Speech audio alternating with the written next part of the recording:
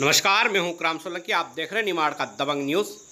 Sendhwa AB road बड़ी बिजासन में बस के ब्रेक फेल होने से बस अनियंत्रित होकर ऑटो को टक्कर मारते हुए एक अन्य वाहन से टकरा गई।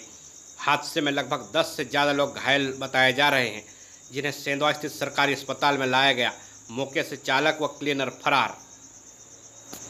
कहाँ से आ रही थी बस? तो आ रहे हैं यूपी से ये बीच में है। अच्छा यूपी से आ रहे हो? कहाँ जा रहे हो? पूना। पूना। तो क्या गाड़ी के ब्रेक वगैरह फेल हो गए थे? हाँ गाड़ी की ब्रेक फेल हो गया अच्छा ब्रेक फेल हो गए थे। तो ड्राइवर क्लीनर गाड़ी यहाँ जैसे रुकी तो साइड में एक बस जा रही थी उसमें बैठ के निकल गए। अच्छा मतलब ड्राइवर क्लीनर पैसेंजरों को छोड़ के भाग गए? हाँ।